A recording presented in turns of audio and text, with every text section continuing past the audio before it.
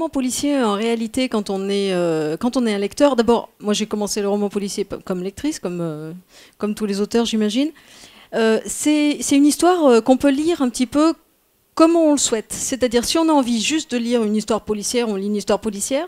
Si on a envie de s'intéresser un petit peu plus à l'époque, on peut le lire de façon un peu plus approfondie. Et si on a envie vraiment de s'immerger dedans, on peut le faire aussi. Le roman policier permet tout ça. Et pour l'auteur, c'est pareil. C'est-à-dire l'auteur peut euh, se contenter de quelques, de quelques décors un petit peu bateaux ou alors aller beaucoup plus loin. C'est une grande liberté qu'offre le roman policier et donc euh, c'est pour ça que moi j'ai commencé par ça. Le crime est euh, une bonne porte d'entrée pour parler d'une époque, parce que le crime est toujours une crise. Euh, et le crime révèle toujours un fonctionnement social, des rapports de force, euh, des rapports entre les hommes et les femmes de l'époque.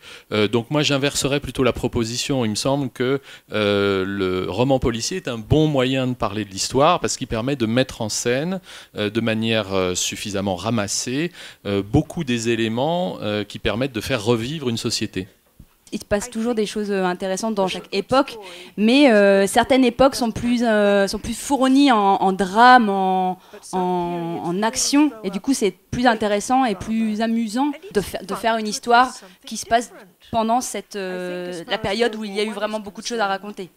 Euh, l'intérêt, par exemple, pour les histoires qui se passent du coup, pendant la Première Guerre mondiale, c'est que c'était une période où, euh, qui marquait la fin d'une histoire, où il y a beaucoup de choses qui vont changer, et ça, les gens avaient euh, besoin d'être très très courageux pour faire face à tous ces changements. Et c'est ça qui rend cette période intéressante, parce que quoi qu'on y fasse, quoi qu'on veuille, le changement est là, et on doit, on doit y faire face, et ça demande, ça demande beaucoup beaucoup de, de, voilà, de courage. Et en ce qui concerne la, enfin, la Révolution française, chaque révolution suit tout toujours euh, la même, euh, la même euh, démarche. En fait, il y a toujours une volonté d'un peuple de renverser un gouvernement et par la suite, en fait, c'est quelque chose de pire en fait qui va naître. La révolution la plus intéressante et la plus fantastique et la plus passionnante, c'était la, la, Révolution française. Ce qui intéresse les, les lecteurs, c'est que l'histoire par le roman policier est rendue divertissante.